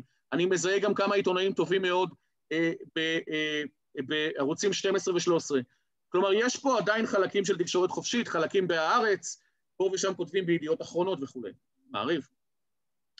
אה, לכן גם בנושא הזה יש אנשים טובים. ואני מתרשם שמערכת הבריאות שלנו, למרות שדלדלו אותה, ולמרות שפגעו בה, ולמרות שרמסו אותה, ולמרות שאנחנו נמצאים במספר מיטות מאוד נמוך ביחס ל-OECD ועוד כהנה וכהנה, יש פה באמת, אני, אני בעצמי עכשיו מייצג את המתמחים במאבק שלהם, וואו, באמת, אי אפשר להאמין, איזה אנשים, איזה גברים ונשים. גם במערכת הבריאות יש הרבה קשיים וריקבון וכולי. אני אומר לכם אבל, מבצע החיסונים הוא עדות לכך שקופות החלים הישראליות, עם כל הביקורת שלנו, הן לא פחות ממדהימות. באמת, להוריד את הכובע, ממש להוריד את הכובע. ויש פה גורמים במערכת הרווחה, שלצערי גם קורסת מהרבה בחינות, שאינם מוותרים, אני רואה קצינות מבחן, עובדות סוציאליות, באמת, פסיכולוגיות בשירות הציבורי, למרות שגם אותם הם מייבשים. אני מזהה גם במערכת החינוך, הרי בתקופה האחרונה הרבה פעמים אני עובד מהבית. בבקשה. חוזר אה, הביתה במקום למשרד בתל אביב, חוזר מבתי המשפט או מהפרקליטות ישר לבית, מנסה לעבוד כשהילדים אה, ברקע, ואני מזהה, אני לפעמים עוזר לבן הקטן בכיתה ד', לפעמים קצת לבן הגדול בכיתה ט', אני מזהה שיש שם הרבה מאוד חומרים איכותיים, ומורות מצוינות, ורגישות, זאת אומרת, כמובן, יש ויש, אבל וגם אתכם, אנשי מערכת ההוראה מנסים לשבור לפעמים. ואפשר להמשיך בתחום המדע, עכשיו אני אשמע כמו ביבי, ותעשייה וכלכלה. יש במדינת ישראל מיליוני נשים וגברים נהדרים, כולל מצביעי ימין שלצערי אה, חלקם מאמינים למניפולציות וקונספירציות. אה, אני חושב בכל מאודי שהדמוקרטיה יכולה לנצח. אני חושב בכל מאודי שהמשטר הדמוקרטי יכול לנצח, אני חושב בכל מאודי שאפשר להגן על זכויות האדם והאזרח, אני חושב בכל מאודי שאפשר להגן עלינו מפני ההתפרקות שכרגע אה, מתחוללת, אבל זה לא יהיה קל. שימו לב שגם בארצות הברית, שסוף סוף עלה לשלטון ביידן, שזה באמת הנחת רווחה שאפשר היה לשמוע מהלב שלי ועד החלל החיצון, של כולנו אני מעריך, גם הוא עומד בפני משימות עצומות, גם הוא יצטרך לשנות הרבה מאוד דפוסי חשיבה של הדמוקרטים מהעבר, גם, אה, בקיצור, גם שכבר השלטון משתנה לטובה, האתגרים הם עצומים, אני אומר, ואני אומר להפך, אבל גם שהשלטון הוא איום ונורא, עדיין יש הרבה מאוד דברים טובים. אז התשובה היא כן, יש מקום לאופטימיות, זהירה, מפוכחת, מפוכחת, אה, אבל כן, חד משמעית כן. יופי, תודה רבה. אני שמחה לשמוע. אפשר לשאול שאלה, בבקשה? בטח. אמ, איך, איך המאבק לשמירת הדמוקרטיה, איך הוא יכול להיאבק בתופעה של הבוטים והפוסט-אמת, שמפרסמים כל מיני אה, אה, מסרים שקריים ויוצרים ממש, אה, ממש אה, נלחמים על השינוי תודעה בציבור. מה עושים עם זה? האמת היא שזו אה, אולי, אולי שאלת היסוד, אם אתם זוכרים, פתחתי ואמרתי שלטעמי שתי הסכנות לדמוקרטיה הישראלית, אחת זה השליטה הצבאית במיליונים בלי זכויות, והשנייה זה שפתאום נתניהו מערער לנו את התודעה. מה האמת, מה שקר, מה נכון, מה לא נכון. התמחות של טראמפ, התמחות של הרבה מאוד מנהיגים סמכותניים ולאומניים, כן, כמויות של שקרים ומניפולציות, או כמויות של דברים שהגרעין שלהם אמת, אבל מציגים אותם בצורה שקרית, בעיה מאוד קשה. תראי, יש עתירה אה, לראש ועדת הבחירות, אה, השופט עוזי פוגלמן, שכרגע אני מנסח אותה אה, מטעם עורך הדין איתי לשם, לבדוק היבטים שונים שקשורים אה, בבוטים של פייסבוק. אני לא יודע אם זה יצליח, אבל נשתדל. אה, יש אה, מצבים, זה, זה מאוד בעייתי, תראו, אה, כשסגרו לטראמפ את, כשסגרו לטראמפ את, את הפה, לא, לא, סתמו לו את הפה כמובן, אבל, אבל סתמו לו את הפלטפורמות שדרכן הוא הפיץ את השקרים המתועבים.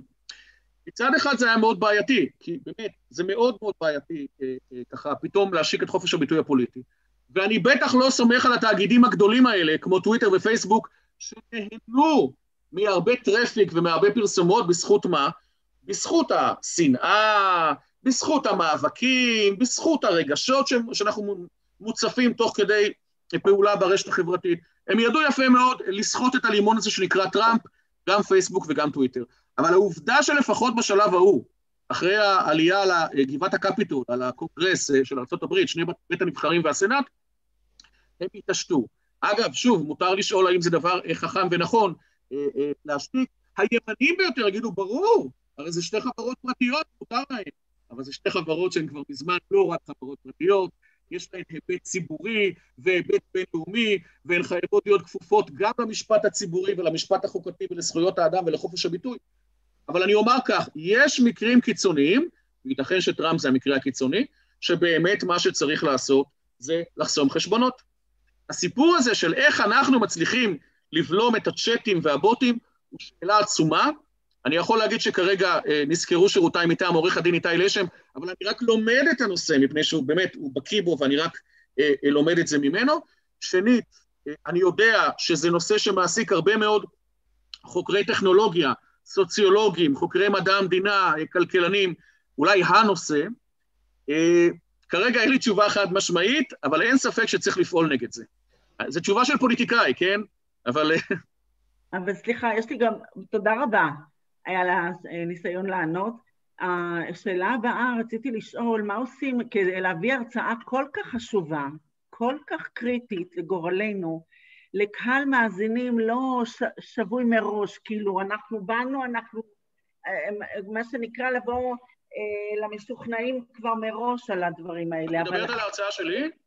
כן, כן, כן, איך מגיעים? רגע, רגע, ברשותך, לפני שאתם עוברים לזה, בואו נשאר רגע בנושא, אני רוצה לחז... לחזור רגע לשאלה ששאל קובי, לאותו פסק דין מפורסם של ה-11-0. אה, וחזרנו גם הבוקר, היום, לשמוע את אסתר חיות מדברת על זה שבית המשפט העליון מחויב לשפוט על פי הדין. וזה גם מה שהם שמו את הדגש בפסק דין ה-11-0, שהם שפטו על פי הדין, הם חיפשו פלטפורמה משפטית. ואני רוצה להזכיר לכולם שבית המשפט העליון הוא בית המשפט הגבוה לצדק, ומשום מה אנחנו לא שומעים אותם, לא בפסק דין של ה-11-0, והרבה מאוד זמן אנחנו כבר לא שומעים אותם שופטים משפט צדק, אלא הם רק מחפשים פיגומים ופלטפורמות משפטיות שיש להם או אין להם. איך אתה מתייחס לזה בבקשה? תראה, הנקודת מבט שלך היא נקודת מבט שמזכירה מאוד את מה שאמר המשנה לנשיאת, סליחה, המשנה לנשיא בית המשפט העליון בעבר, השופט אליהו מצה. מצה אמר שהוא באופן אישי, ואני חושב שהוא גם רמז שחבריו אה, לאותה תקופה, אה, פרופסור אהרון ברק, הנשיאה דורית בייניש, שופטים כמו אה, גבריאל בך, כמו תיאודור אור ואחרים. אני, מה, ש, מה שהוא ניסה לומר זה ש... אפשר לקבוע שבכל מקרה, גם החוק וגם חוק יסוד הממשלה, שלא שוללים בלשון מפורשת הטלת מנדט על אה, חבר כנסת עם אה, כתב אישום בגין עבירות מסוג פשע לקבל את המנדט מהנשיא להקים ממשלה, הוא אמר, אפשר לקבוע שכל חוק וכל חוק יסוד וכל סעיף בחוק יסוד צריך לפרש לפי עקרונות יסוד דמוקרטיים. זאת אומרת, מה שבעצם אומר השופט מצה, ושוב, הוא רומז, ש... הוא אומר, אני הייתי ככה פועל, והוא רומז שכנראה גם חבריו מלפני 10, 20 ו-25 שנה, זה במידה רבה מה שאתה אומר. אנחנו לא יכולים להישען על הטכני, אנחנו לא יכולים להישען על הפיגומים, אנחנו צריכים להיות יצירתיים, וכאשר הדמוקרטיה בסכנה, אנחנו חייבים לשלוף את עקרונות היסוד הדמוקרטיים.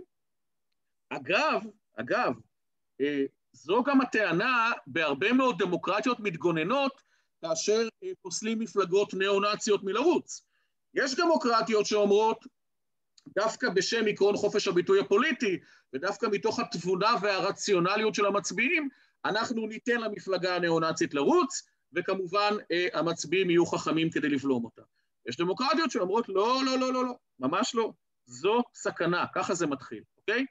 אז אני אומר, העניין הזה, העניין הזה של האם לשפוט אך ורק לפי לשון החוק, וברגע שלשון חוק יסוד הממשלה לא מאפשרת באופן מפורש לשלול את הטלת המנדט אה, להרכיב ממשלה על אה, חבר כנסת עם כתב אישום, ברגע שהלשון הזה לא קובעת מפורש, אה, מפורשות שהוא לא יכול, יש שתי אפשרויות, או שבג"ץ אומר, אני לא יכול לפרש את החוק אחרת, אני לא יכול להכניס לתוכו מה שאין בו, החוק הזה מבחינה לשונית הוא לא חוק שמונע ממר נתניהו, בסוגריים אומר לנו בג"ץ, פה הציבור צריך להכריע, ואם הציבור לא הכריע, מה, מה אתם רוצים מאיתנו, שנכניס את היד לתוך האש כדי להוציא את ההרמונים? כלומר, בג"ץ אומר, אנחנו חרדים למעמד שלנו, אם אנחנו פה נפסוק פסיקה שחצי מהציבור לא יקבל, ואולי יותר, אנחנו עלולים אה, לאבד את, ה, אה, את המנדט הציבורי והמוסרי שלנו בעיני רבים, אנחנו חוששים, זה בעצם הסאבטקסט, והטקסט, מה שמעל הסאבטקסט, הטקסט המפורש זה, אנחנו מפרשים את החוק על פי לשונו. אז אומר השופט מצה, עם כל הכבוד, יש רגעים, אני כרגע מכניס את המילים שלי, אבל הוא אומר, יש רגעים בחיי אומה שאין, אתה לא יכול לפרש את זה רק באופן לשוני, אתה צריך פרשנות תכליתית. מהי פרשנות תכליתית? מהי תכלית החוק? תכלית כל חוק היא לשמור על עקרונות היסוד של הדמוקרטיה, ופה נשאלת השאלה הגדולה, ובזה אני מסיים את, את התשובה שלי. יכול שופט כמו מצה, ואולי גם כמו הנשיא ברק, אני לא יודע, כי לא שמענו אותו, כמו הנשיאה בייני שלא שמענו אותה, או כמוך, לבוא ולהגיד, עקרון היסוד הדמוקרטי הוא שאי אפשר שראש ממשלה תחת כתב אישום יכהן, כי המשמעות היא ניגוד עניינים ופגיעה אדירה אה, באזרחים. ויכול שופט אחר להגיד, לא, פרשנות תכליתית, התכלית של הדמוקרטיה, זה קודם כל לאפשר לרוב הציבור, אה, או במקרה הזה אולי לא רוב הציבור, אבל רוב חברי הכנסת, לבחור מי יהיה ראש הממשלה. ואנחנו, בית המשפט העליון, מאוד מאוד מאוד נתקשה להתערב בזה. בואו נגיד ככה, אה, אנחנו רק צריכים לקוות, יכולים לקוות, שואפים וגם צריך לפעול, להצביע למפלגות הנכונות, כדי שאולי, אולי, אולי בעתיד יהיה רוב פרלמנטרי, ואולי אפילו, מי יודע, בעתיד תוקם ממשלה שהגורמים הליברל-דמוקרטיים והגורמים הסוציאל-דמוקרטיים והגורמים ההגונים בה יהיו כל כך חזקים, שהם גם יצליחו בעזרת כנסת נבונה, בעזרת לשכת עורכי הדין ובעזרת הרשות השופטת, להביא למינוים של שופטים אמיצים שישמרו לנו על הדמוקרטיה אה, גם בעיתות חירום. אני רק חוזר ואומר, אם אנחנו האזרחים לא נשמור על הדמוקרטיה, בית המשפט העליון לא יספיק. בית המשפט העליון הוא מאוד מאוד מאוד חשוב, מאוד חשוב, במובנים מסוימים הכי חשוב, אבל הוא לא יוכל לעמוד בפרץ אה, מול אה, כנסת שהתרוקנה מריבונותה ומכוחה, ומול ראש ממשלה סמכותני, אה, אם חלילה נמשיך ללכת בדרך הזו. אגב, זה מתחבר, זה גם מתחבר לשאלה הקודמת, אה, אה, שאני רואה כאן מדנציגר, אני לא, לא יודע איך קוראים לך, דנציגר, זה מתחבר למה שהיא שאלה, כי כדי שאנחנו נצליח לשכנע את הציבור, באמת אה, אולי לשנות את דעותיו, להצביע לאותן מפלגות ליברל דמוקרטיות, סוציאל דמוקרטיות, אזרחיות וכולי, כדי שאולי פעם תהיה כאן ממשלה, או לפחות כנסת, שיפעלו שתהיה כאן ועדה טובה למינוי שופטים, עם מינוי שופטים ראויים לעליון, ולא רק לעליון, אה, אנחנו צריכים להילחם בהרבה מאוד שקרים ובהרבה מאוד קונספירציות ובהרבה מאוד דברים נבזיים שנכתבים ברשת החברתית. לא פשוט, לא פשוט. אבל אה, אין לי, אין לי בשבילך תשובה חד משמעית. גישתך היא גישת מצה, תשתית הדמוקרטיה, עקרון יסוד, לא ניתן לראש הממשלה לכהן תחת כתב אישום, יבוא שופט אחר ויגיד, אדוני, אני מצטער, התשתית של הדמוקרטיה זה הרוב קובע, למרות שגם כאן, אני חוזר ואומר, זה לא היה רוב אה, אה של הציבור, זה היה רוב פרלמנטרי. אולי אני יכולה רגע לחזור לשאלה בבקשה, כן. הזאת. אם אנחנו רוצים בעתיד להגיע למצב כזה שרוב האזרחים יבחרו באמת בחירה יותר שפויה, אני קוראת לזה, של, ש, יותר הגנה באמת על ערכים דמוקרטיים וליברליים בכנסת ובממשלה, צריך להגיע לקהלים שהיום הם שבויים ומאופנתים בכיוון המרצה את המלך או את השליט העריץ יותר. אז איך מגיעים לשנות את ה... את ה... שהציבור יפנים דברים אחרים, הציבור שעדיין לא הפנים את ערכי הדמוקרטיה. איך מגיעים לקהלים האלה? לתלמידי תיכון? זה, זה, זה, זה מתחבר למה שאת גם שאלת מקודם. תראי, אני, נגיד, אם אנחנו רוצים שהרצאות כאלה יעלו ברשת, אז קודם כל, אה, ההצעה שלי זה לא להשאיר את כל השעה וחצי הזו, כי עם כל הכבוד אנשים יעמדו קשב. אז לצערנו, ב, ב, לצערנו, לא לצערנו, אבל זה, זה, זה השיח, זה, זה, זה רמת הקשב. באמת אנחנו צריכים אולי להוציא משהו יותר קליפי, יותר קצר, יותר ממוקד. אני לא איש שיווק, אני לא איש דיגיטל, אני לא איש תעמולה, אני לא איש חינוך, אני... אין לי, אין לי כלים יותר טובים מאשר מישהו אחר כאן או מישהי אחרת כאן.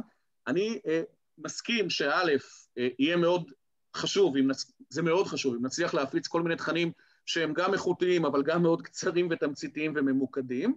מי שרוצה הרחבה תמיד יכול לגשת ללינק ולשמוע את הדברים יותר לעומק.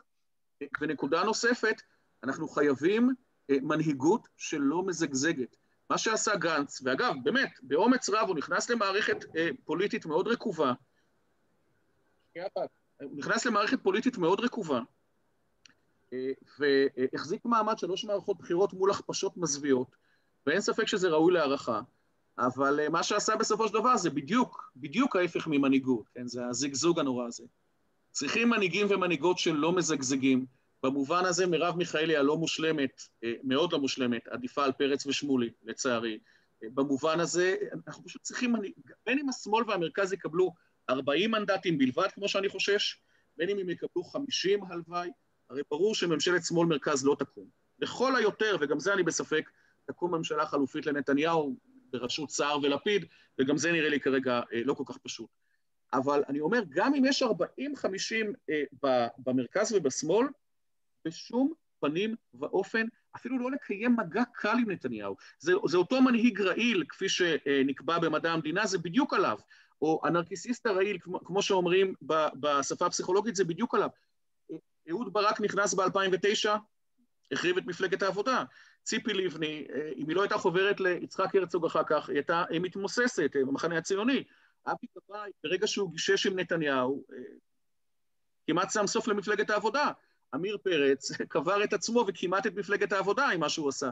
זאת אומרת, אתם הפוליטיקאים יורים לעצמכם ברגל, כולל גנץ, ובמקביל משמידים את האמון שלנו בכם.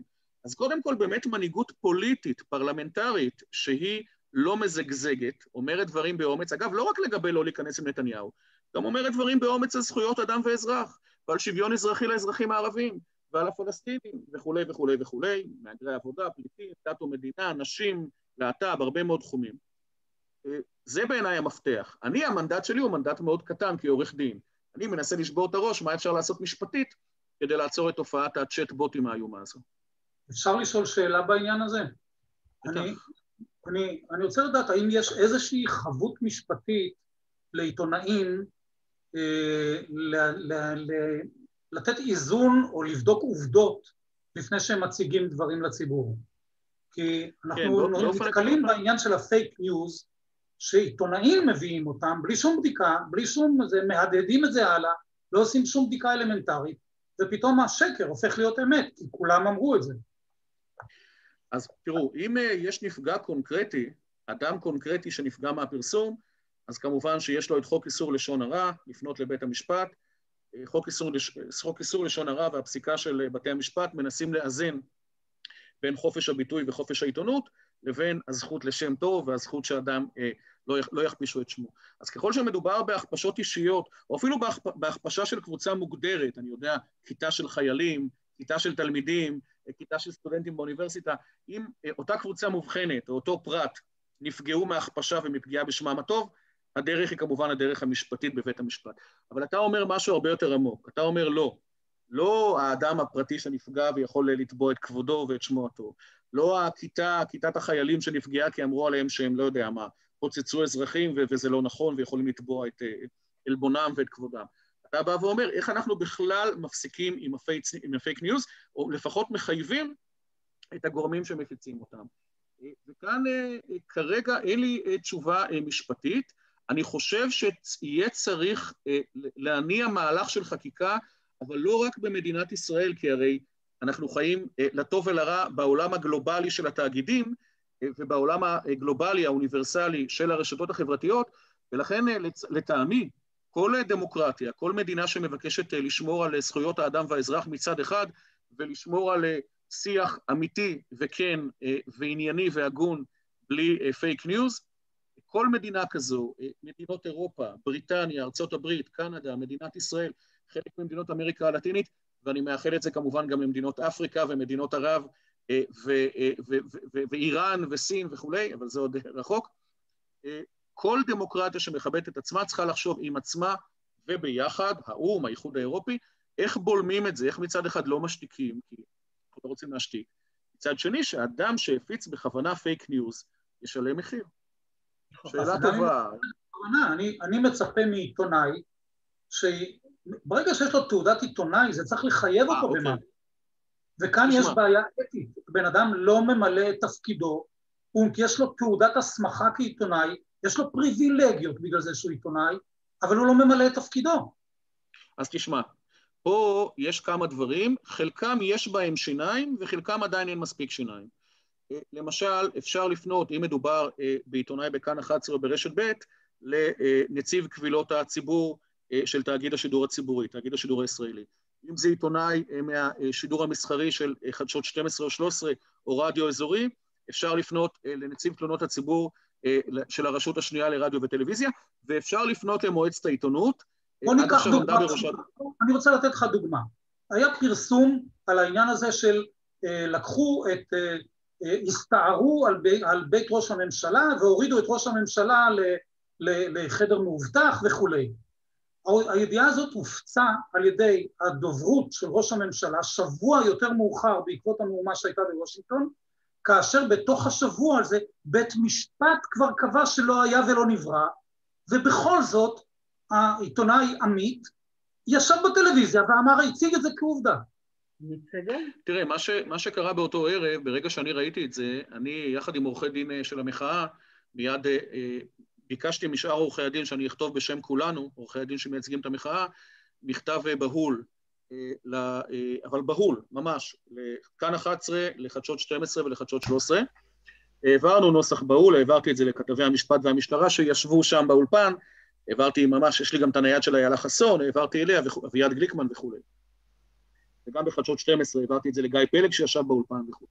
אז קודם כל הייתה תגובה מיידית מטעמנו, שנית הייתה תגובה מיידית מטעם קריים מיניסטר, התגובה שלנו הייתה מאוד עדינה, זאת אומרת, היא הייתה תקיפה, אבל היא הייתה בשפה משפטית מנומסת. התגובה של קריים מיניסטר כמובן הייתה יותר בוטה, כי מוטה, כי הם יכולים להרשות לעצמם, לכן גם התגובה שלהם, לשמחתי, שודרה לפנינו, וזה בסדר גמור. גם הייתה אחרי זה תגובה עם הדגלים השחורים. אז קודם כל באמת לשים לב לזה וישר להגיב, ישר, ישר, לא, ישר להגיב. סליחה, סליחה שאני קוטע אותך, דניאל. אבל אתה לא עונה לי לשאלה. האם יש דרך במצב הזה לחייב במשהו אישית את העיתונאי, שלמרות שהייתה לו, לו ידיעה, הייתה לו אפשרות לבדוק שהיא לא נכונה, והוא לא עשה את זה. עכשיו, איפה תעודת עיתונאי שווה משהו? תרשה לי רק להוסיף שלידיעה שלו הוא הוסיף תמונה של איך הגברת בדרך למקלט ומלווים אותו וזה, שמסתבר שזו תמונה בכלל מלפני איזה שנתיים או שנה וחצי. הוא לא, עשה, הוא לא עשה את הדבר האלמנטרי של לבדוק האם זה נכון בכלל או לא. אלמנטרי. כלום, הוא פשוט הדהד את הידיעה שהוא קיבל מדוברות ראש הממשלה. אגב, חשוב לומר שכאן 11 וחדשות 13 בהתחלה גם הדהדו, ותוך כדי שידור חזרו בהם ואמרו, איילה חסון אמרה, אנחנו בעצם לא היינו שם, ואם המפגינים אומרים שהם לא פרצו לתוך בלפור, אנחנו מדגישים את זה, ובכאן 11 עקיבא נוביק גם... אבל כאן היה אירוע חד משמעי, שבוע, בתוך השבוע מאז שהאירוע הזה לא, לא, היה, בית משפט קבע שזה לא היה ולא נברא. אז כאן הייתה, היה, אפשר היה על המקום לבוא ולהגיד, סליחה, אדון עיתונאי, איפה הבדיקה המינימלית שהיית אמור כעיתונאי, אני עכשיו רוצה לתקוף אותו ברמה המקצועית על תעודת העיתונאי שלו. יש לו חובה מקצועית, הוא לא קיים אותה. אני דורש לקחת ממנו את תעודת העיתונאי. אז אני, אני אענה לך אה, בשתי נקודות. נקודה אחת, אני, באמת רק למען הדיוק, בגלל שאני מכיר את הפרוטוקולים של החשודים שנעצרו והובאו יום אחרי לבית המשפט, השופט אכן כתב לגבי חלקם שלא היה מקום לעצור אותם, ולגבי אחרים שאולי היה מקום לעצור אה, ולבדוק, אבל מיד לשחרר אותם ולא אה, להשאיר אותם שבוע שלם באבו כביר. ובכל הפרוטוקולים השופט לא כתב לא הייתה פריצה לבלפור, אלא הוא תיאר את הדברים כהווייתם. המשטרה הראתה לי סרטונים שמראים שהמפגינים רצו, אבל בשום פנים ואופן שום פריצה לבלפור. אז חשוב לי רק לומר, הוא לא, הוא לא כתב לא הייתה פריצה לבלפור, הוא פשוט כתב, אנשים היו ליד בלפור, זה הכול. אתה צודק, ופה אני עובר לנקודה השנייה והעיקרית, וגם ארנון הראל אה, פה אה, העלה את זה. אתה צודק באלף אחוז, שכאשר עיתונאי מהדהד כמעט כלשונה ידיעה שקרית של אה, דובר ראש הממשלה, יועצי התקשורת של ראש הממשלה. לא חשוב של מי. מה? לא חשוב של מי, אם הוא מהדהד כן. בלי לבדוק. כן. אתה צודק שחייבת להיות סנקציה חמורה מאין כמוה.